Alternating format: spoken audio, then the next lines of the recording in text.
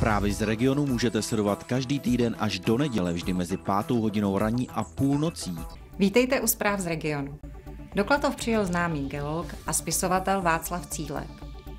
Představíme vám hru Uličnice na studování janovických ochotníků. V rámci prohlídek klatovských středních škol zavítáme na obchodní akademii. V Klatovském divadle zazněly muzikálové melodie. A na závěr se vydáme na výroční valnou hromadu hasičů v Malé Výzce.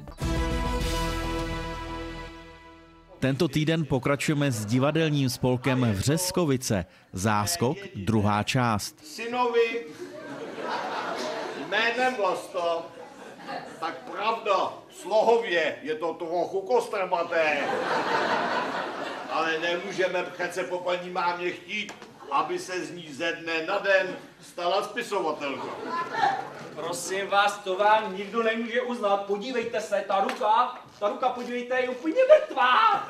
Sledujte od úterý do neděle vždy v 9, ve 13, v 18.30 a v půl desáté večer. V magazínu vám představíme dobřanské bábinky. Ty si připravili staropražské písničky. Točte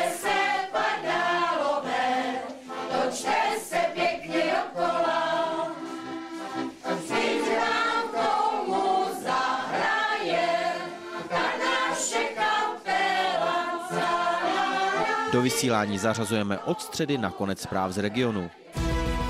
V 11.15, v 17.15 a v 21.15 od čtvrtka do neděle vyjíždí limuzína s Mírou Hejdou. Vidíte? Zpěváček. A přitom je to kajakář. Olympionik Pepa Dostal bude hostem v limuzíně a někdo z vás vyhraje tuhle parádní kameru. Dívejte se. Před deseti lety zavítal do Běšin pěvecký sbor z Polska. Ve filmu z archivu si připomeneme tuto náštěvu.